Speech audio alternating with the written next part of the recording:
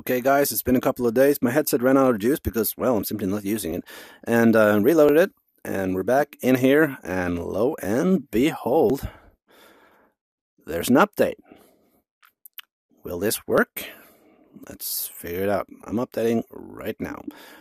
Okay, we restarted our headset with our new upgrade. Let's take a look at what it is. It's um, and we are currently running version 59, 172, 706, 53, 54, 29038, and the runtime version is uh, 29024. And now comes the moment of truth. Let's take a look at the Wi-Fi. We are connected to our Wi-Fi 6E, 6 GHz, and let's go down to our speeds. As you can see, the transmit speed is not uh, full capacity. And it's still fluctuating. But it might have been improved. It's built, now it's pretty high though. No, we're down to 14. Let's see if it goes any down any further. Now, realize I'm not connected to a virtual desktop or uh, Airlink or anything. I'm not even streaming to my PC. I'm just recording locally on my headset. And you can see that it's still fluctuating. So this uh, didn't fix it. It might have improved it. Uh, I'm going to try and play some games on it to see if it actually helped anything. But yeah, you can see that it's still an issue. So yeah, now we're down to 1200 uh, megabytes per second. So still, it's still usable. 17. Icons aren't really showing really fastly here. Where is that virtual desktop? Probably higher. Virtual desktop, where are you? What the hell? There it is, all the way down the bottom. Are you trying to fix that meta? Are you trying to push it down so people won't use it? Uh, create a new boundary. Into our stream here. Sure, we have you can go to. Okay, so while doing this test, as you see, I realized that my mic was cutting out and it's totally off sync, which has been a problem before when I'm recording uh, videos while uh, streaming to the PC, as you could see on my uh, Phasmophobia playthrough. So, uh, yeah, that's another issue. Might be something to do with virtual desktop, but uh, yeah, I don't know. But as you can see, I had it on uh, uh, ultra quality, uh, not godlike, and uh, 200 megabits per second. So we're going to try a bit of games to see how this fares. Let's just go continue. So as you can tell now, it's uh, well, it's raining here because there's a hole in the ceiling. I actually didn't see that in my first playthrough because I didn't have this resolution in the Quest 2. That's pretty cool. And, uh, well, now it's down to 12. As long as it's uh, above 12, it should be fine. Especially if we're running at 200. And, uh,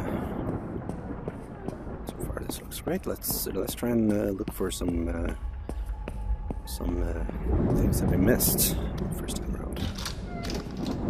Might need my gun.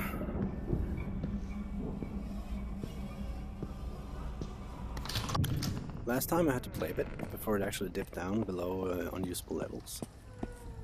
We're still at 12, but as you can tell, there is still something wrong. It should stay at 24 all the time. But it's not dipping down below 12 now, which is a good thing. But it's still not stable. It should be better than this. I mean, I have a Wi-Fi 6E. I paid for a Wi-Fi 6E. I should have the full 2400 megabits per second as long as it's dedicated. And it is. This headset is so cool when it's working. The, the resolution is beautiful. There's still like this slight grayish area in the blackness, but it's not as bad as Quest 2. It's, it's still not great. It's not PlayStation 2, but it's uh, it's it's um, PlayStation VR 2. I mean, it's uh, it's okay, but it's not great but the, the crispness, you know, look at look at that texture when you can have ultra textures on, and keeping this at 90 frames per second, it's beautiful, absolutely beautiful, and the experience is so much more immersive. I'm actually, um, Or it's not stable. That's the wrong word to use. It's usable now. Which is pretty good. Hey! Zombies! Come here and get me! No? Oh well. Fine. You do you, I guess. Okay, but I'm actually quite hopeful. I might actually try to, to do a streaming game with this because it's better. It's a lot better. So, uh, yeah. But there's still an issue, and I think TP-Link has the, the solution if you just want to talk with those guys and figure out how to get this perfect. Because you see, latency is still not 100%. It's still pretty, pretty high sometimes. Once again, let's try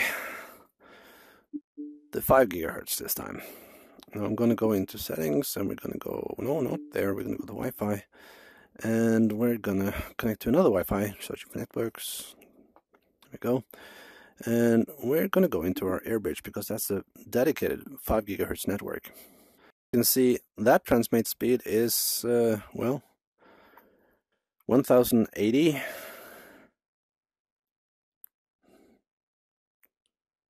It was at 800, now it's now to 720. So that's still unusable, pretty much. We can take a test here on the virtual desktop just to check.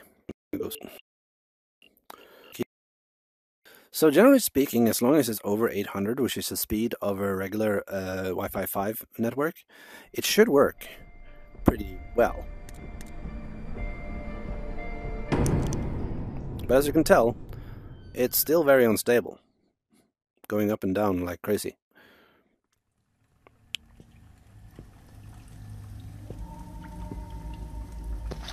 Don't know why I feel like I need my gun, but uh, I don't feel safe.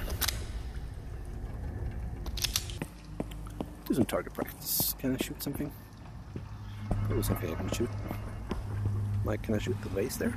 Maybe? Can, but it doesn't break. What about the bell? Nope. So we're at 864, 960. Again, it should be at 1200. But this is actually not so bad. Move my headset around.